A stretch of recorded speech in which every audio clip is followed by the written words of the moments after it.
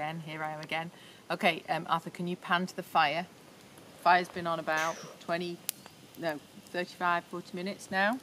So I'm going to start preparing the food. So what I'm going to make today is uh, flatbreads. So I made some dough this afternoon, some wholemeal dough. So I'm going to make that into flatbreads. I'm going to fry those.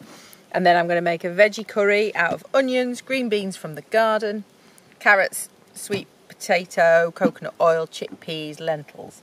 I'm going to do that in a pan, so I think that counts as boiling. Um, I am going to make some sausages. Um, what I've, I've got for hygiene is I've got a bucket of hot soapy water which I can wash my hands in in between dealing with the meat um, and the vegetables. And what we're going to do in terms of waste disposal is I've got a plastic bag. I'm going to put the vegetable stuff there that can go in the compost in the garden.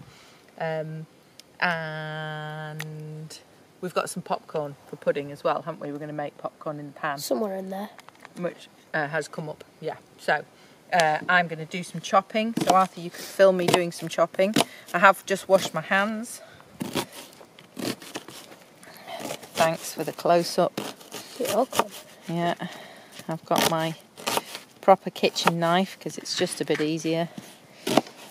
But I could use a pen knife if I wanted to. I used a pen knife to open the uh, tins. Oh yeah. Yeah. I, Um, haven't, I haven't got mine. So I'm going to cook in the pan on. Um, we've made something called the thing. Arthur, do you want to film the thing? Where's That's this thing? here. Oh, this thing here. So this is the thing, uh, which is uh, some rebar and a bit of edging. Grandpa Rebar, made that.